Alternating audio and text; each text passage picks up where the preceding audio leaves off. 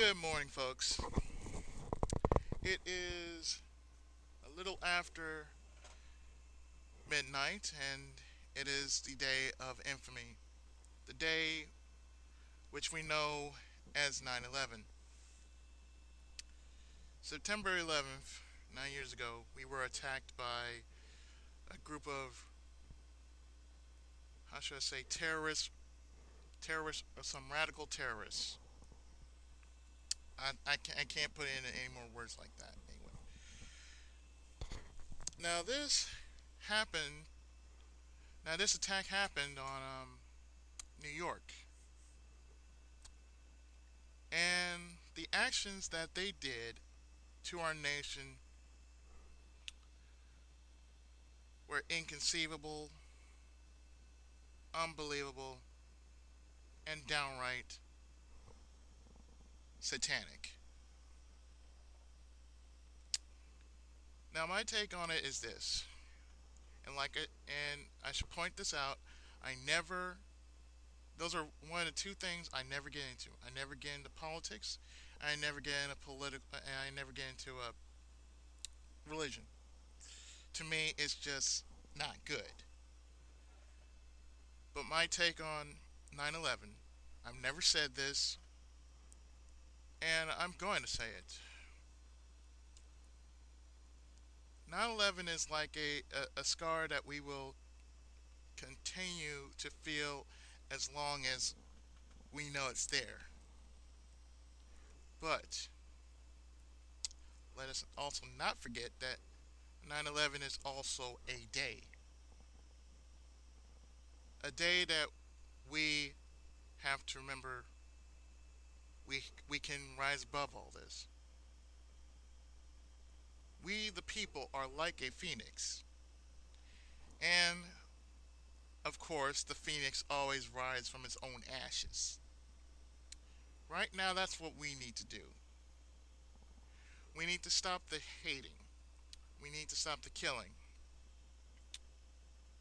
We need to get together, regardless of belief, color, sexuality, and all that.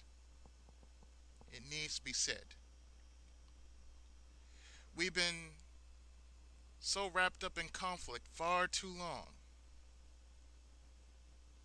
And our true enemy attacks us when we're not even looking. It's like being at school and you don't realize you have your pants down until until you have half to the whole student body laughing at you. So that's that's pretty much all I can say. That that's pretty much the best uh, similarity I can think of. Best metaphor, similarity, whatever. It's a it's a lot to say. Anyway, I do have more to say. I I do have more to say about it. Now,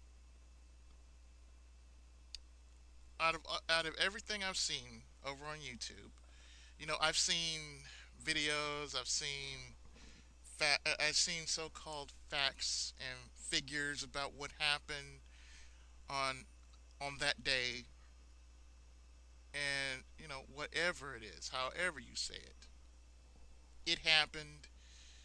All the facts and figures don't mean a hill of beans.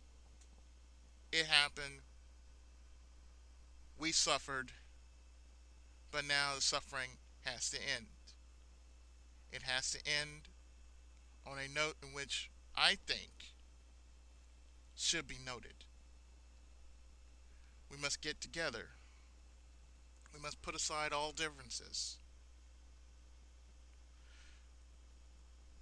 All kinds of feelings, whatever they are, whatever your belief is, we need to put aside all that.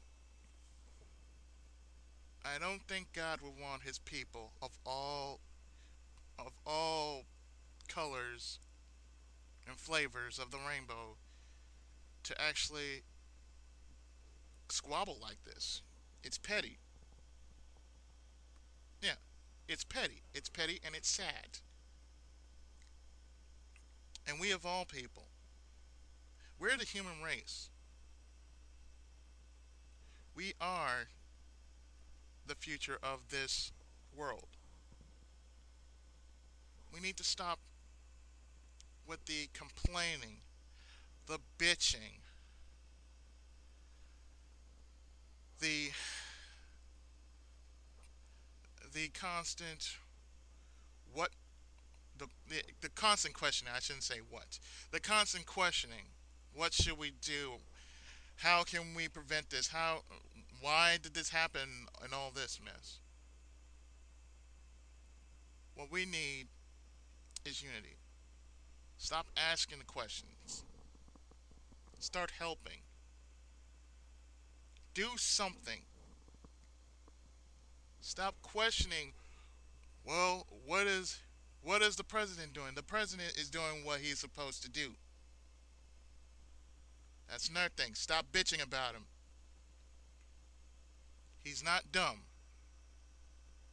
Although some people might find it stupid that, oh, he's black. So, at least he's man enough to tell us, yeah, we're going through something and we need to get over it. We need to get over this hump. We need to be defenders. We don't need to be, you know, chickens with our heads cut off. No, no, we don't need to be that. What we do need is that simple promise that A, everything is going to be all right. We can rise above this. We know how to handle this.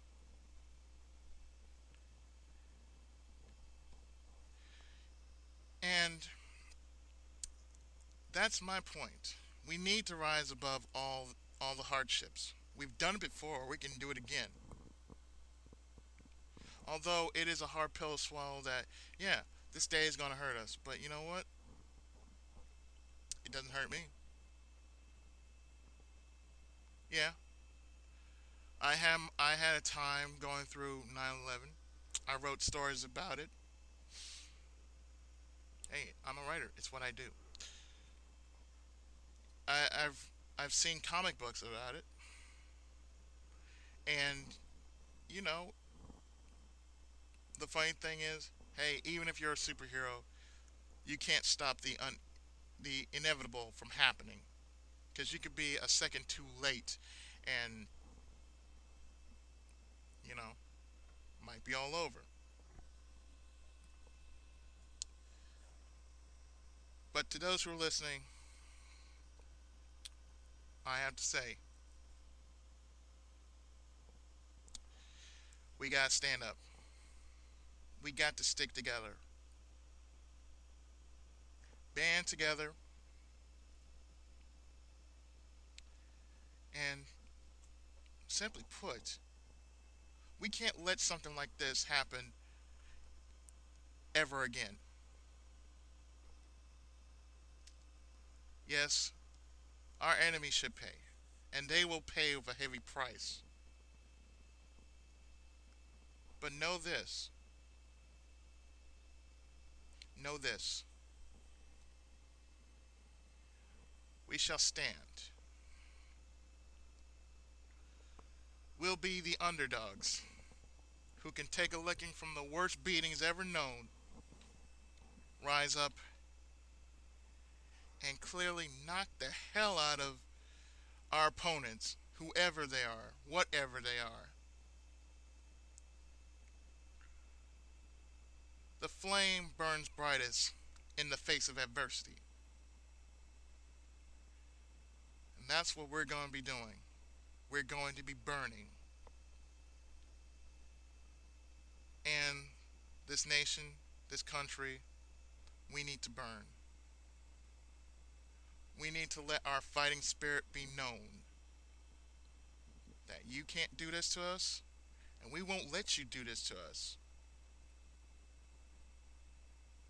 That's the reason why I brought out the only picture that could give me or anybody who comes to my channel and visits this and notices.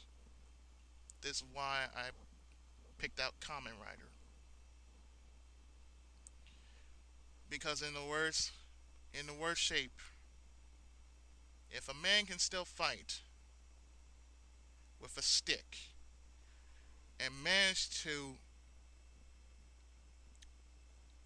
flabbergast his opponent by just his spirit alone, then half of the battle is won.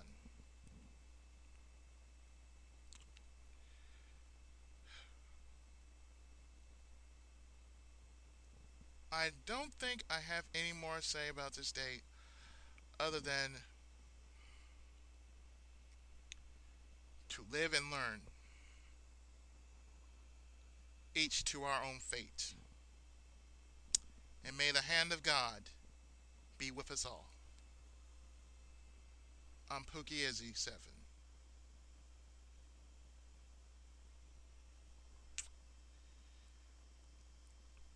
Let's be friends.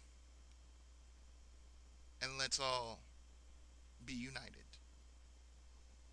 Have a good day.